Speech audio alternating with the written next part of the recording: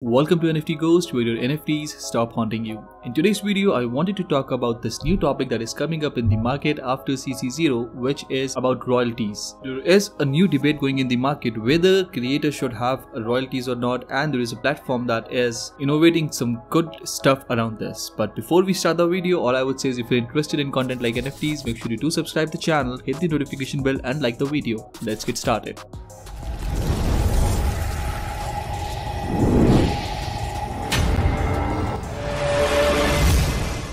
What is this creators royalties discussion about? Well, if you buy and sell an NFT on OpenSea, you have to pay certain fees which includes OpenSea's own service charges and then there is a creators royalties which usually amounts to around 5, 7.5 or 10%, sometimes even 12.5%. However, now there is a new debate going on in the NFT market that whether we should or the investors should be paying that creators royalty or not. Now before we move more towards into it, why should we really care about this? Well, let's say you bought an NFT on OpenSea. So the NFT might cost you 1 ETH and now you are ready to sell that NFT again in the market. Out of that 1 ETH, 2.5% is going to get charged by OpenSea and then 7.5% let's say would be the creator's royalty.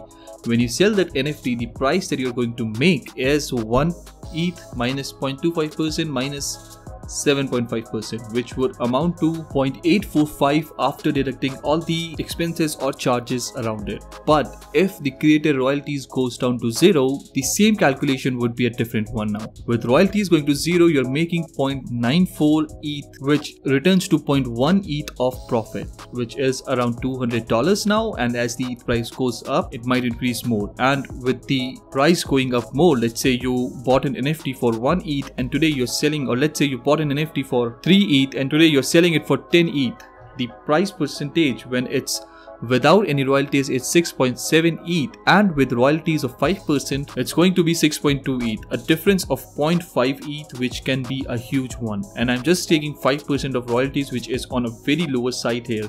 Usually, royalties are around 7.5 to 10%. Now, with this coming up in the market, the investors are definitely going to have a lot of benefit around it. However, there will be a loss towards the creator's side because I personally feel that NFTs came in and a lot of artists in the market who were struggling to make money got a platform and a technology which which helped them actually make a lot of money but along with that people admiring their art. With this particular things coming up in the market the creators royalties is going to be zero. Hence the creators will not be making any money off secondary. How does this all going to work out? Now let's say if a project launches with a 10000 collection and 0% royalty what the project would be doing is they would be keeping certain amount of NFTs for themselves. So let's say out of 10,000, they might be keeping 2,000 or 3,000 of NFTs for the creators because they're not taking any royalties anymore and the rest of the collections will be giving out to the public. Now, since you're not paying anything on the secondary market as the profit is higher, you would think this is a benefit. I personally don't think so much because now the creator has 3,000 or 2,000 of the NFTs with him.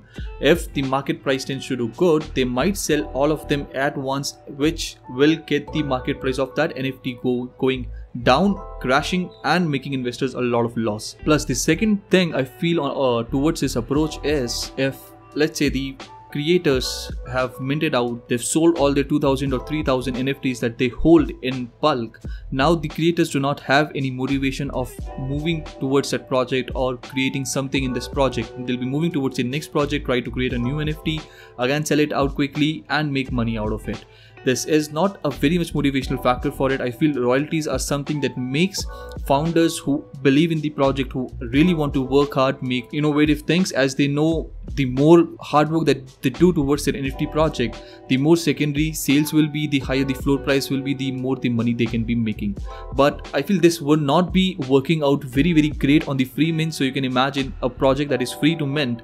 Let's say have a 10000 collection 3000 is held by the creator. They're not making any money upfront now since the free mints usually get a lot of volume they can sell them all at once and make money out of it get out of the project making the investors lose their money. If somebody bought it off secondary they'll definitely be losing their money over it. However this approach i feel would be really really amazing if let's say a project mints out at 0.05 for 10000 collections. Now they have got the money with them.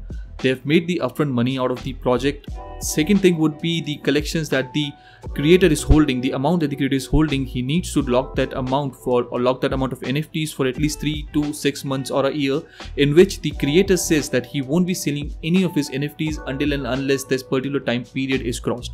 This way the creator will be having a lot of motivation to work on that particular project. Since he's made the money upfront he'll be able he'll be having the capital on this business because mostly nfts are business. If you are not making any money upfront how will you run the business right you need money to run a business and with the free mints next to impossible because there are no secondary royalties now there is no upfront money also. How is it going to work out? I don't think so it will. And the project is going to be a rug. But with the case of paid mint if the if the influencer or the creator are getting money upfront. Now they can use that money to build the NFTs, and because their NFTs are locked, they cannot take that money out. Also, they cannot sell that NFT instantly. This gives them the motivation to keep working also, so that in future, if the floor price increases a lot, they'll be able to sell their NFTs that they hold also in the market. Second, the community will also be benefiting from it because if you know that the creators cannot sell their NFTs for at least three to six months, the risk uh, on the investor side decreases a lot. I feel this approach could be taken from this side. It might work out, but it totally depends on how market revolves. The way I've seen market is does not matter how many innovations are done on exchanges. People usually go towards the OpenSea only. There is a high volume on OpenSea. People ignore LooksRare. People ignore X2Y2 also. Even though the fees is less there, if you list your NFTs on LooksRare, you certain NFTs you might get Looks token also, but nobody usually cares about it because I feel as soon as a new or a beginner comes into NFTs, there are three things that they learn. One is ETH, second is MetaMask, and third is OpenSea. And that's the reason a lot of volume is usually there on OpenSea, and everybody wants to sell or buy through OpenSea. But if this kind of thing can be implemented, there will be a lot of experiments around it. I think there will be a lot of risks also. But as more experiments are done in the in, in the NFTs in this market, I feel that will be really really good. More experiments that ha- that happen in this particular market, the better the future would be but that would be all for today's video. I this this is what i feel creator royalties being going to zero would do but what do you think? Let me know in the comment box below. I would love to know your views. Also make sure to follow me on my twitter account. A lot of nft giveaways are going on there and join my free discord.